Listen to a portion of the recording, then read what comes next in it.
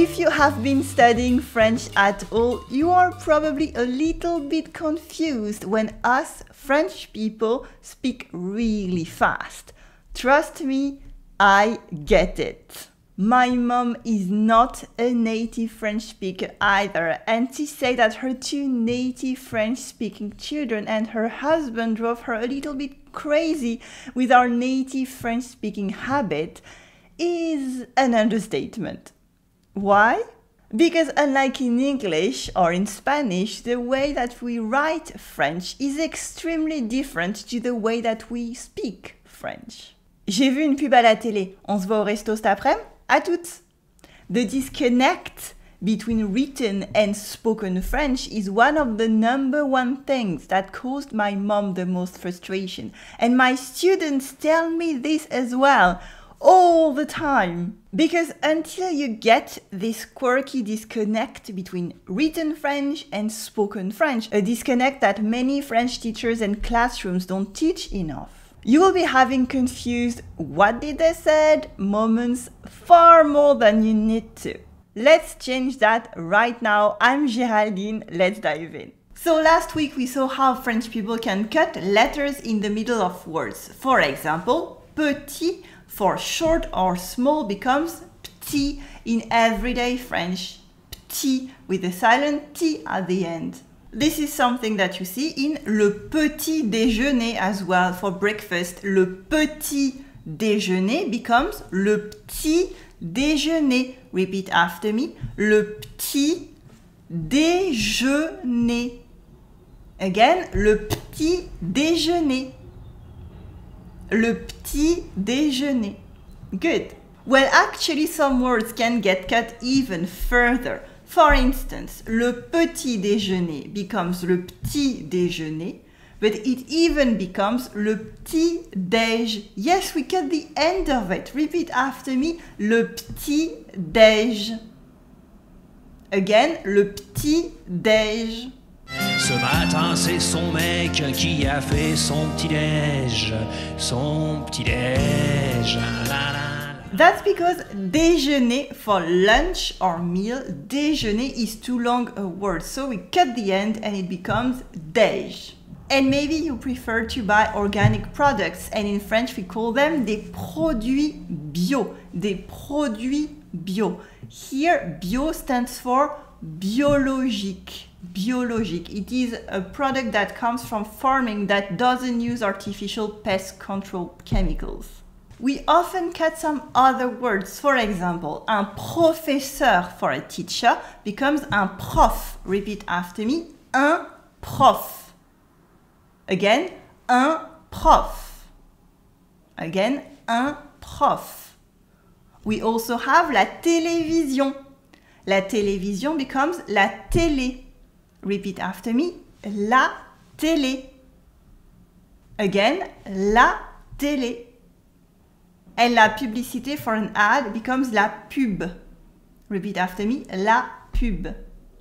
Yes, because une pub is an ad. It is not a pub at all. So this is the first sentence that we saw earlier.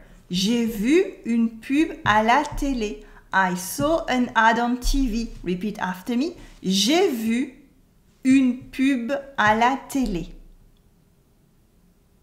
Again, j'ai vu une pub à la télé. One last time. J'ai vu une pub à la télé.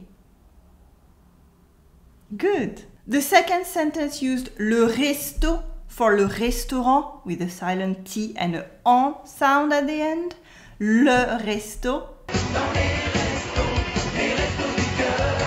There was also l'après-midi for l'après-midi, the afternoon. L'après-midi, repeat after me. L'après-midi. Again, l'après-midi. One last time, l'après-midi. The fun thing about après-midi is that you can say un après-midi or une après-midi. It seems that French people never decided what it was, so you can use both. So here we have it. On se voit au resto cet après-midi. Are we going to meet at the restaurant this afternoon? Repeat after me. On se voit au resto cet après-midi? Because it's a question, your voice must go up at the end. On se voit au resto cet après-midi? And one last time. On se voit au resto cet après-midi? Good. Our last two common words that got shortened are un frigo for a fridge, un frigo, repeat after me, un frigo. But that's ambiguous because it can be short for un réfrigérateur or un frigidaire, which was the first brand of fridges. Before diving into a few expressions, I wanted to mention one last noun. It's un appart, which is the short version of un appartement. Repeat after me, un appart. And we say the T. Un appart. Also notice here that I do la liaison between un and apart, so the N in un is heard. Un appart, repeat after me, un appart. Un appart. Good. So we have il a un bon appart, he has a good flat. Il a un bon appart. Don't forget la liaison between bon and appart. Un bon appart. Repeat after me. Il a un bon appart. Again, il a un bon appart. Il a un bon appart. Good. Finally, let's take a look at a few French expressions that got shortened, such as il y a for there is. Il y a becomes ya. Ya, a very simple sound, ya. Here the il completely disappeared. So instead of saying il y a un problème, is there a problem? We say y a un problème, is there a problem? Y a un problème, repeat after me. Y a un problème. Again, y a un problème. This is one of the rare cuts at the beginning of a sentence. On the other hand, we tend to cut the ending of bon appétit with the silent T at the end. Bon appétit and la liaison between bon and appétit, the N is heard. Bon appétit, repeat after me. Bon appétit. We often say bon app, repeat after me. Bon app. Bon app.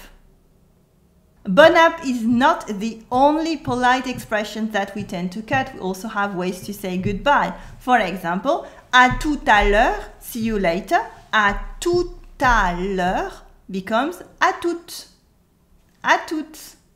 If you love pronunciation, you might notice that in à tout à l'heure, the T at the end of tout is heard only because of la liaison.